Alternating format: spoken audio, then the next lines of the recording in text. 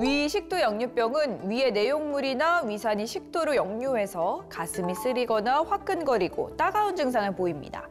심각하면 협심증과 비슷한 가슴 통증을 느낄 정도라고 하는데요.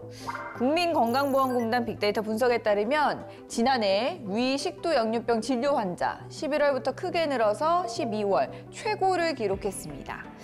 이는 매년 같은 양상이라고 하는데 그 이유는 날이 추워지면 소화 기능이 떨어지는 데다가 연말에 잦은 모임과 가식, 과음을 하기 때문이라고 합니다.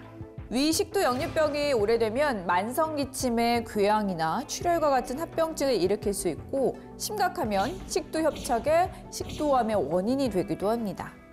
위식도 역류병이 있는 분들은 연말에도 과식, 과음을 피하시고 식후에 바로 눕지 마세요.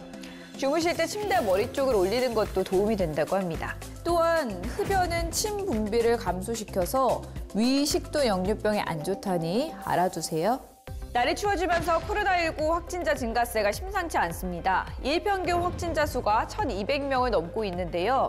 질병관리청에서는 11월 1일부터 전 국민을 대상으로 현재 변이에 맞춘 코로나19 신규 백신 예방접종을 무료로 진행하고 있습니다. 그러니 가족 모두 가까운 위탁 의료기관이나 보건소를 방문해서 꼭 접종하시기 바랍니다.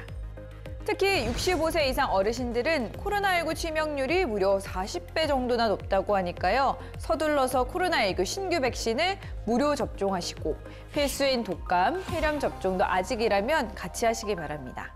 또 생활 방역에 있어서도 코로나19 해제 후 올바른 손 씻기 실천율은 11.2%로 그리고 올바른 환기 실천율은 31.7%로 뚝 떨어졌다고 합니다.